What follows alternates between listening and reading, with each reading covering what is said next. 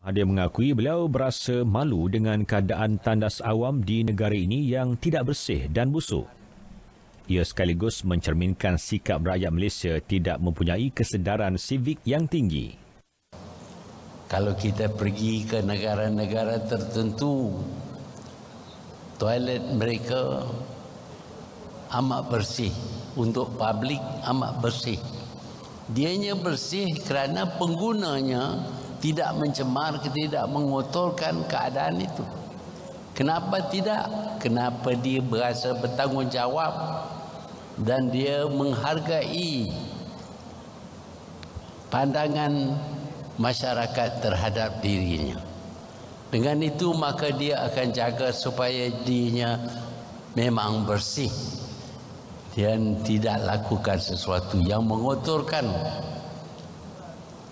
toilet-toilet di Malaysia. Malaysia juga berdepan masalah sivik dalam kalangan masyarakat yang melakukan pelbagai perkara tidak baik seperti membuang sampah, mencuri air serta lampu jalan.